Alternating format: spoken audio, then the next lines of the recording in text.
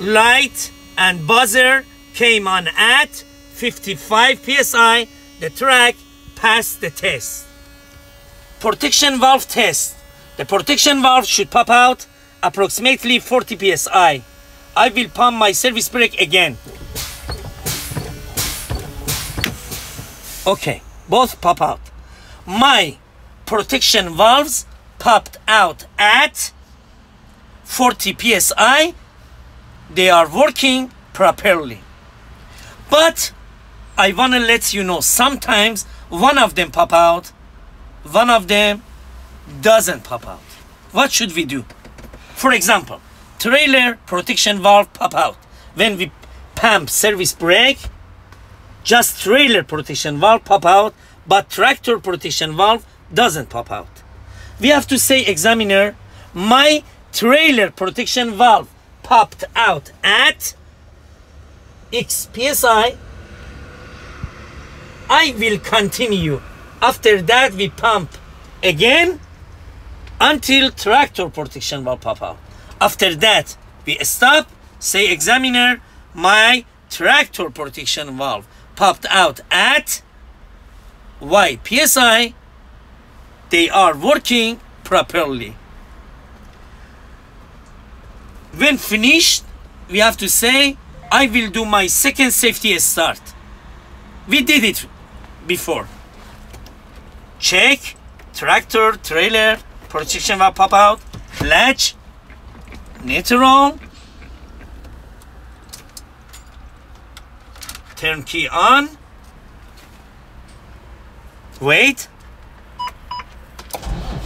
Start the ABS light came on and off. Right now we start our in-cab inspection. My seat belt is securely mounted working properly. The belt is not cut frayed I don't do that because I want to explain you. I want to be free. My seat belt is securely mounted working properly.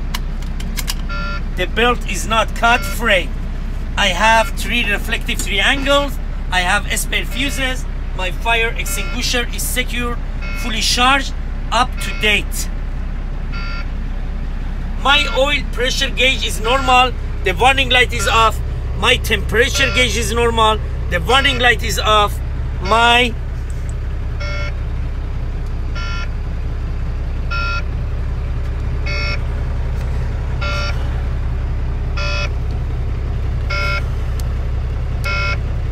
voltmeter is charging.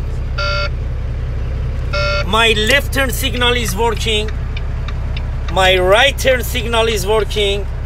My four-way flashers is working. My high beam indicator is working. After that heater is working. We point it my defroster is working. Turn off. My city horn is working. My air horn is working. Because of air. It's not after the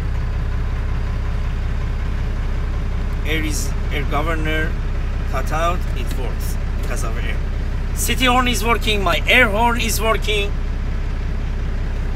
The viper is securely mounted not damaged working smoothly.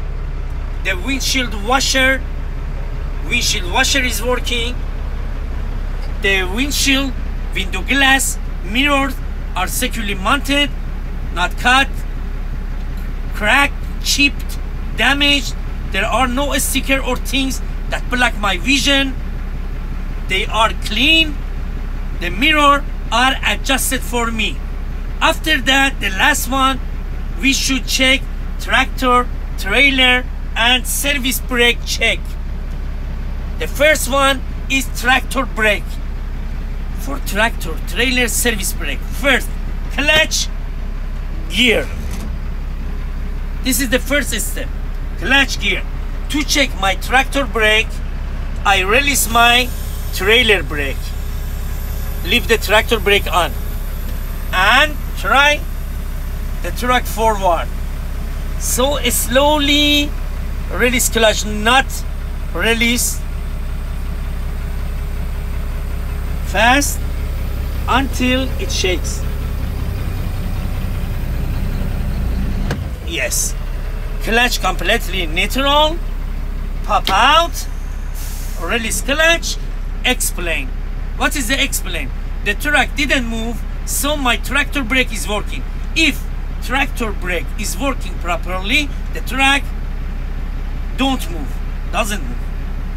The second one, trailer brake check. Clutch, gear. To check my trailer brake, I release my tractor brake and leave the trailer brake on. Again. So slowly,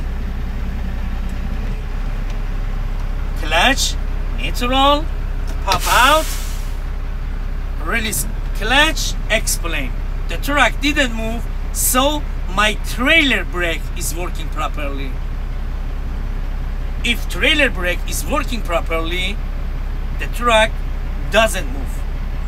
Just shake. The last one, service brake check. Again, clutch, gear. To check my service brake, I release both tractor and trailer brake. Take my hands off from a steer wheel and move the truck forward 5 to 10 feet. After that, clutch, brake, neutral, pop out, explain. I go 5 to 10 feet, brake, clutch completely neutral, tractor, trailer, pop out, release clutch, and explain. The truck didn't turn left or right, so my service brake is working properly. Uh, I hope you enjoy the video. Good luck.